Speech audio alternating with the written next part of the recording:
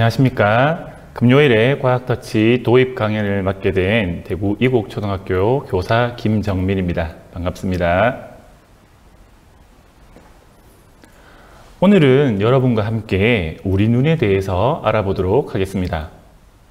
여러분은 여러분의 눈을 믿습니까? 여러분에게 보이는 것이 모두 사실일까요? 오늘 우리가 살펴볼 내용은 잔상 현상입니다. 잔상이란 외부의 자극이 사라진 뒤에도 감각 경험이 지속되는 현상을 이야기합니다. 이와 같은 잔상은 크게 두 가지로 나눌 수 있는데 첫 번째로 양의 잔상입니다. 양의 잔상은 한번 보여줬던 이미지가 그대로 남아 보여지게 되는 현상을 말합니다. 어, 여러분들이 텔레비전을 열심히 보다가 잠시 눈을 감으면 그 화면이 잠시 눈앞에 아른거리는 경험을 해 보셨을 겁니다.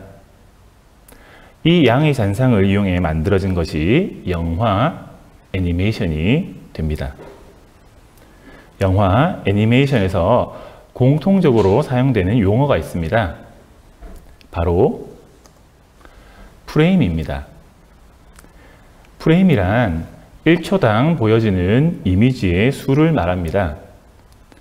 바로 음, 지금 보여드리는 그림이 6장의 프레임으로 구성된 애니메이션입니다. 같이 보겠습니다.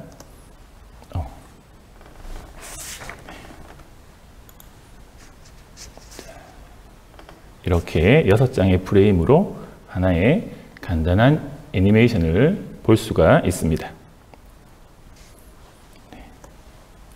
어, 일반적으로 사람의 눈에 잔상이 유지되는 시간은 약 16분의 1초로 초당 60프레임 이상의 속도로 지나가는 이미지는 구별을 하지 못한다고 알려져 있습니다. 영화나 애니메이션은 30에서 60프레임의 속도로 제작되는 것이 일반적입니다. 하지만 뇌가 인식하지 못했다고 해서 못 본 것일까요? 어, 미국의 한 극장에서는 영화 상영 중 사람이 인지할 수 없는 프레임 이상의 속도로 영화 중간중간에 광고 이미지를 보여주었던 실험을 했습니다. 이 영화를 본 관객들은 실제로 영화 상영 도중 그러한 광고를 인지하지 못했지만 결과적으로는 무의식적으로 광고 효과가 나타나 콜라와 팝콘의 매출 상승으로 이어졌다라고 합니다. 이와 같은 현상을 subliminal 효과라고 합니다. 어, subliminal 효과는요, 쉽사리 인지하기 힘든 무의식적인 자극을 제시함으로써 인간의 잠재의식에 영향을 가하는 것을 말합니다. 어, 이러한 subliminal 효과를 이용한 마케팅 사례에는요, 요즘 너무나 많이 사용되고 있는 PPL이 있습니다. 어, 최근 방송된 이 빈센조라는 드라마에서도 중국 비빔밥이 등장을 했죠. 그래서 큰 이슈를 낳았습니다. 어, 그리고 어, 성적이 오르는 음악 같은 것도 있는데요. 실제로 보시면 어, 서브리미널 효과에 의한 성적이 오르는 음악이라고 판매가 되고 있습니다. 어, 이러한 양의 잔상을 이용한 실험에는 음, 크게 두 가지가 있는데요. 음, 첫 번째는 플립북이 있습니다. 어, 어릴 때 공책이나 교과서 끝에 연속되는 그림을 여러 장 그리고 빠르게 넘기면서 움직이는 그림을 만들어 본 경험이 있을 겁니다. 아마 이렇게 보시면 이해가 되시겠죠. 그리고 두 번째는 스캐니메이션이 있습니다. 스캐니메이션은 스캔, 그 다음에 애니메이션의 합성어로 여러 장의 그림을 원하는 부분만 선택하여 합성하고 그에 맞춘 얇은 틈을 통해 관찰하면 움직이는 장면을 관찰할 수 있는 것입니다. 한번 보실까요?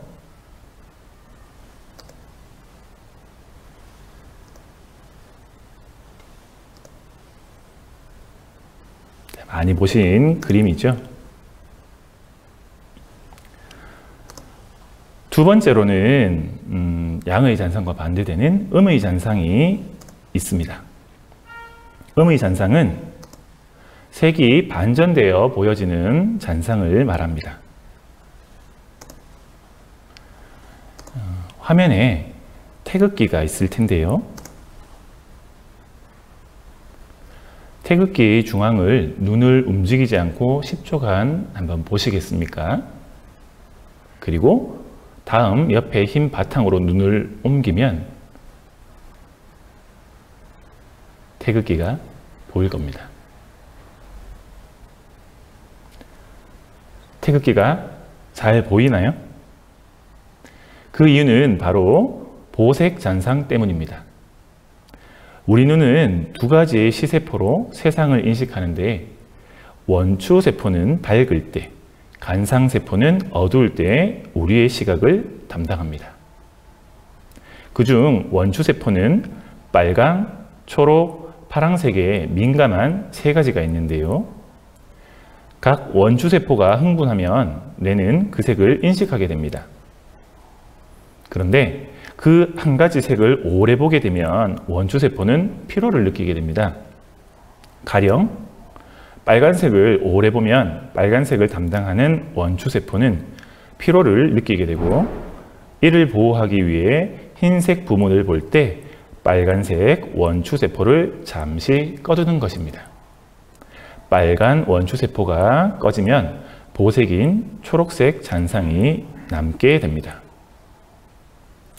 일상에서 이용되는 보색 잔상으로 의사들의 수술복이 있습니다.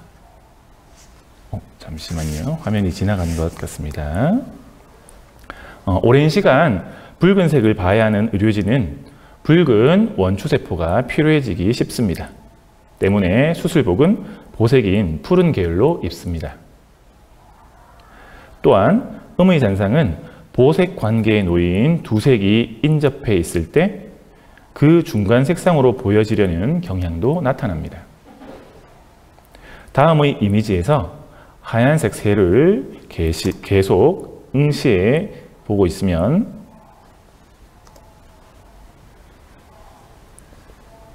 네. 새로운 현상이 일어나는데요. 점차 새의 색상이 노란색으로 바뀌는 경험을 하실 수 있습니다. 그리고 한 가지 더